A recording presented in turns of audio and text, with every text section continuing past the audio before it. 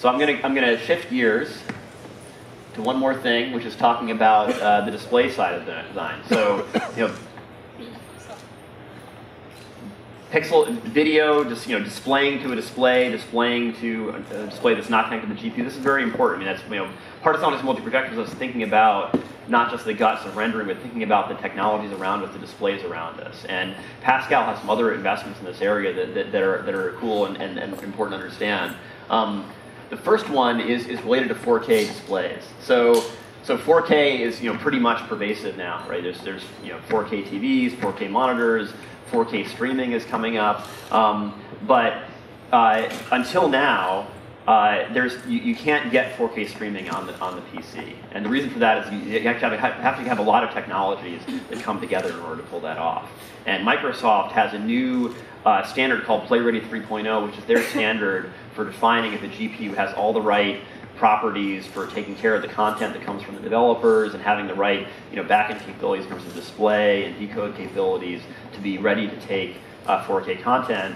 And you know, as, as, what Microsoft says here is, is NVIDIA is, is, is, PlayReady, is going to be PlayReady 3.0 certified, meaning that we are ready um, to, we have this capability that enables us to take 4K content.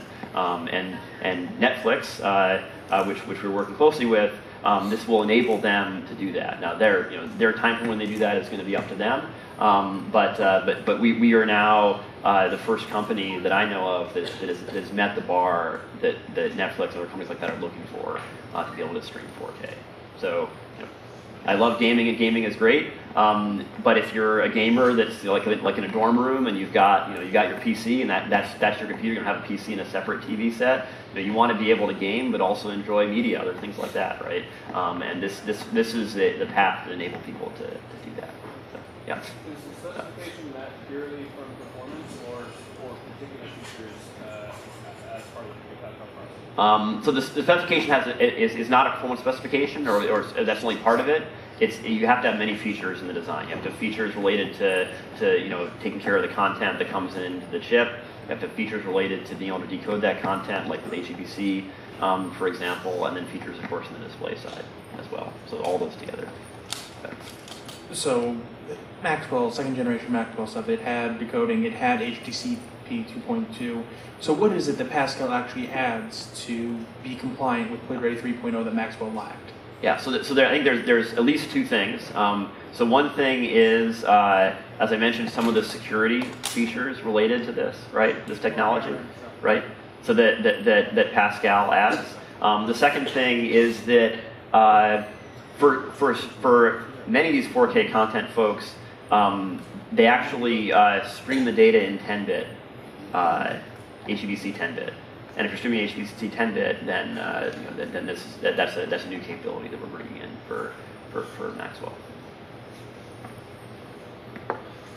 So, yeah, sorry. Okay, yeah.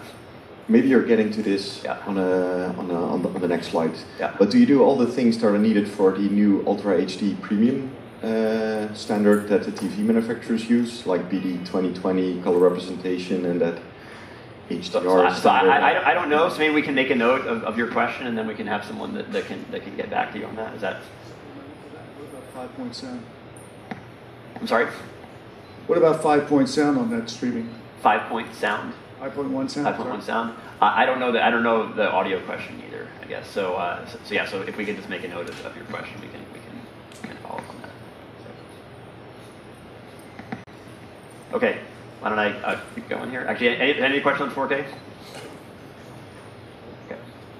Okay, so, so HDR, and if we, we have some cool HDR displays in the back here. So HDR is another area where, where we made some significant investments. Um, HDR is not is not a, hopefully not an unfamiliar thing to you guys at this point. You know, it's, it's been a, a big push, especially by the display industry, the last couple of years to get to HDR. You know, we, we've been limited by you know this this uh, yellow triangle in the middle is sort of the the classical gamut that was the gamut of, of, of shitty color televisions, you know, with CRTs when those were first invented before, you know, before any of us were born, probably, something like that, right? Um, is that the right way to put it? I don't know. Maybe not. Okay. A little tone it down a little? Okay. A little tone it down. Okay. All right. Um, so you know, but that's the reality is that's where the whole industry has been saddled since then because it's a standard and changing standards is hard. And even though like nobody has a CRT on, on their desk anymore, they have these really great you know, uh, t- uh, you know LCD TVs. Uh, we're still we still are stuck in that in that old gamut, and we're still stuck in the brightness definition of this old you know beam scanning whatever thing, right? So so HDR is finally moving the industry forward into actually taking advantage of the technology that we're now that's now av- available, right? So you know, expanding the visible spectrum out to be much more a much better fit to that overall spectrum that the eye can see, uh, taking advantage of the fact that these LED displays you know can drive at a much better brightness uh, than before. Um, you know, that that's that's valuable. Uh, one reason that's valuable is it gives, it gives you more saturated colors. So one of the one of the problems you have with sort of a low brightness display is like you want to show somebody fire, right? There's fire burning here, right? Well, if you make the fire be the red color that fire is, it's going to be kind of dim because you're only using a third of the brightness of the display. So if you really want to give them the sense that the fire is bright, you got to desaturate it. You got to turn up the blue and the green just to get that overall brightness to be up, right?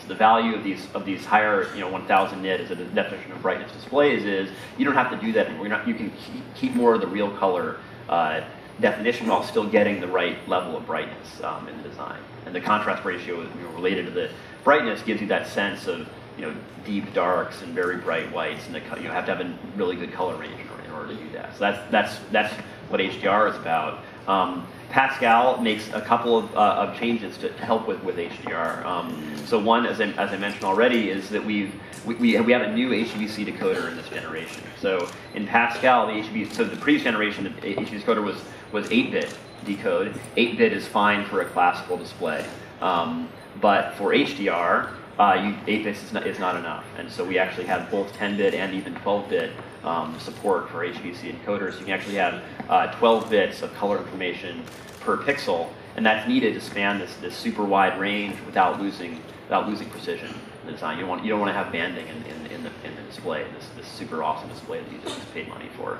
Um, we also enhanced our HEVC encoder. So now you, you can actually record in, in, in HDR also, um, not, not just read back. Uh, yeah. Just a curiosity, Yeah. is the display that we're looking at these things on an HDR display? Uh, this is not an HDR display. I actually asked Fish. I was like, man, Fish, we need an HDR display. The Fish said we paid like $100,000 for this.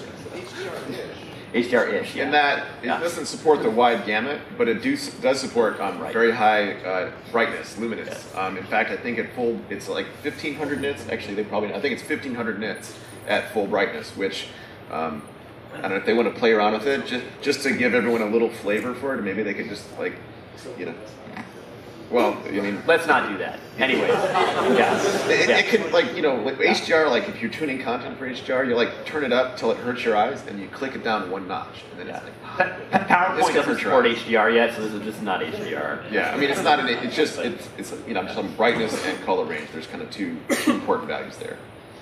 Yeah, sorry, what was your question? Uh, which color gamut are we supporting? I don't know that. Um, so I don't, maybe we just take a note of that one too. And we, we can try to make sure some of this detail is in the, in the reviewer's guide for. We support BT 2020. 2020, okay.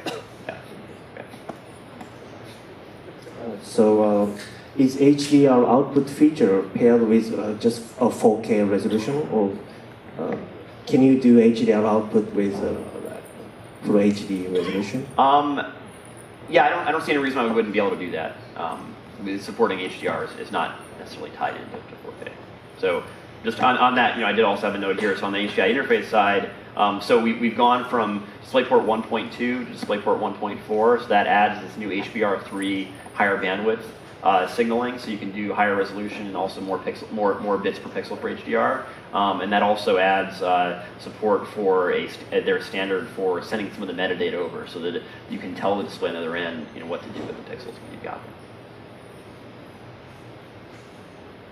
So, so that, that's that's what we've done in the hardware. Now, um, you know, and of course, you know, the, and you guys check out the demo in the back here. So the good news is that, picking on the television side, it, it's not. This is not just a future thing. This is actually a now thing, right? So televisions are here. HDR televisions. Uh, we expect about four million units this year are going to ship with, with HDR support in them. Um, but there's there's a challenge there, which is that you know if your PC isn't your living room, you know, you have to move your PC to the living room now in order to, in order to hook it up with this awesome new television you just bought. Um, but we have a we have a solution for that. So um, not only does uh, GTX 1080 have a 10-bit HEVC encoder, um, our Shield device also has an HEVC 10-bit decoder. So if you if you have an HDR TV or get an HDR TV, you can now with H, with GameStream HDR in your living room take full advantage of that awesome capability, right? We can basically on your GameStream enabled PC, wherever it is uh, in your house, you can go, you know, fire up that HDR game, you know, through GameBit. It'll ship it over to the Shield device. Shield device will decode it, and then you've got that that awesome experience um, on your TV with no ha- with no requirement to have sort of you know the a 50 foot cable uh, from your TV to wherever your, wherever your PC is. So this is coming this summer. We'll have we'll have a new ver- a new a new GameStream release that will enable HDR support with GameStream for the first time. So with 1080 plus Shield, you've got a full solution for for HDR uh, TV sets. I'm sure you guys are talking to monitor vendors a lot. So, what is your view on HDR and PC monitors? When is it coming? What are the developments? So- are there any so- scalar chips that do it? So my understanding is, is, is early next year. Is that is that about right? We- So As fast as we can make it happen. yeah, we would like it to be very fast. Um, Jonah has uh, some strong opinions about that, as Yeah. you might have heard. Yes. Yeah. Yeah. It would be nice if they were now, but uh, but yeah, they, they, they, they are they are coming, and and uh, you know, they, they- they're not they're not clueless about this about this being a great experience. They're working hard on this as far as. Okay. okay. If you haven't um, mentioned it, there's there's a bunch of demos in the back for HDR2 that you can check out. Yes. And, uh, Tony, do you want to talk about the game work you guys are doing with games at all here? While you're Yeah, sure. Yeah. Um, Yeah. so, uh, uh, in my opinion, HDR is probably one of the kind of coolest things to come around in the display technology in a really long time. Um, I'm not sure which I find cooler, 4K or HDR, so we'll just we'll just say you need both.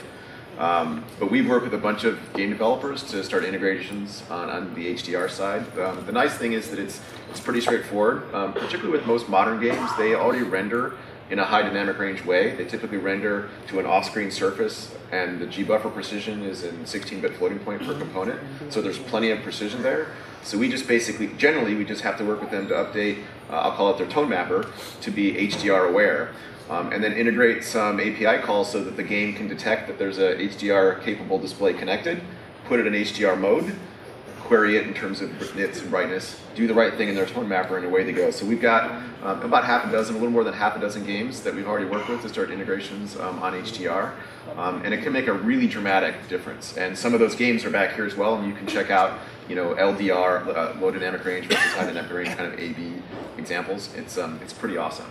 Um, and the nice thing is it generally doesn't require a great deal of content reauthoring. Like I said, a lot of it, from an engine perspective, they're already doing 99% of the hard work. They just need to make some changes to the, that final tone map resolve pass and then have some awareness of an HDR display. So we have APIs for all of that that we provide to game developers as well, and that's part of GameWorks uh, as an SDK too. Cool. Thank you, Tony. Okay, so that's it. So I, I uh, talk, hope I gave you guys a good understanding of sort of the architecture, what we were doing going to 16 FinFET, uh, you know, some of the work that, that, that we did and, and, and that, our, that our friends did, you know, to, to make a really awesomely fast memory interface, um, and then just the, you know, the whole you know, mentality craftsmanship, you know, that, that, that went into this, this design to, you know, from the architecture to the design and implementation to the, to the, the board, the power supply, just everywhere, you know, the whole team just focused on that idea of just being great craftsmen, building a great product uh, for you guys to enjoy. Um, so that, that's what I have. So thank you, everybody. Okay.